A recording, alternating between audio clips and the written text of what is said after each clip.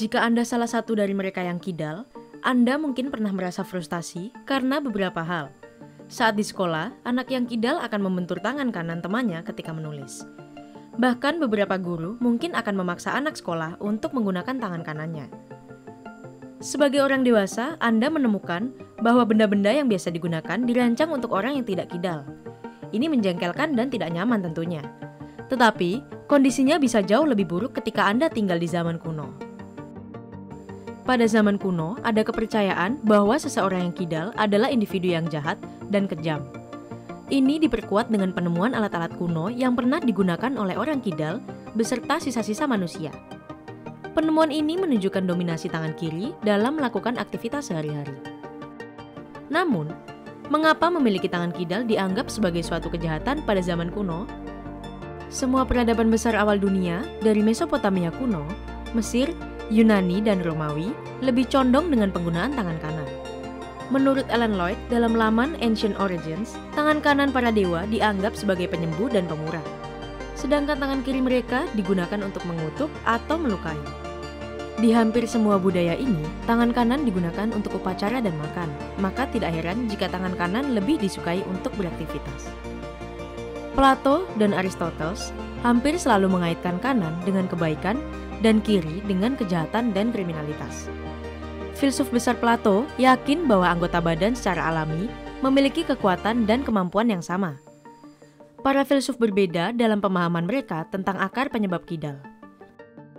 Plato bahkan menyalahkan ibu yang memiliki anak kidal. Menurutnya, mereka tidak kompeten dan gagal mendidik anak untuk melakukan sesuatu dengan benar. Bagi Plato, setiap manusia dilahirkan dengan tangan yang sama seseorang berkembang menjadi kidal akibat salah asuhan. Aristoteles menulis bahwa tangan dominan seseorang adalah manifestasi alami dari jiwa bawaan mereka. Jika mereka pada dasarnya baik, mereka secara alami menggunakan tangan kanan. Tetapi, jika mereka terlahir jahat, mereka kidal. Orang Romawi kuno memiliki kepercayaan yang sama tentang kidal. Menurut beberapa orang, memakai cincin kawin di tangan kiri berasal dari kebiasaan bangsa Romawi ini merupakan gagasan untuk menangkal roh jahat yang dikaitkan dengan tangan kiri. Praktek modern berjabat tangan kanan juga dipercaya berasal dari kebiasaan Romawi. Orang Romawi menyentuh tangan kanan untuk menunjukkan tidak adanya senjata tersembunyi. Zaman semakin maju, tetapi abad ke-18 dan ke-19 merupakan masa-masa sulit bagi mereka yang tidak. Pada saat itu, diskriminasi terhadap orang tidak bahkan semakin mendarah daging.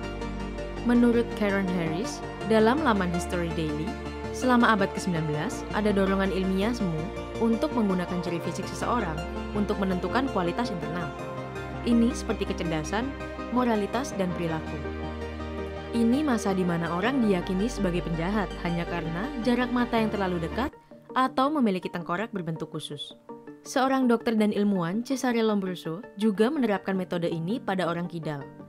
Ia menyimpulkan bahwa orang kidal adalah penjahat patologis, psikopat, dan rentan terhadap kemarahan dan kebiadaban. Ini mungkin menjadi penyebab seorang anak kidal dipaksa untuk menggunakan tangan kanannya. Dokter dan psikolog Austria, Wilhelm Steckel, menulis pada 1911 bahwa jalan kanan selalu menandakan jalan menuju kebenaran. Jalur kiri jalan menuju kejahatan.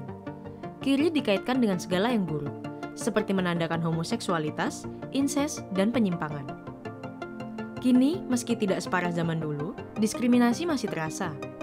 Pencipta produk acap kali melupakan mereka yang kidal, sehingga membuat hidup mereka semakin menantang.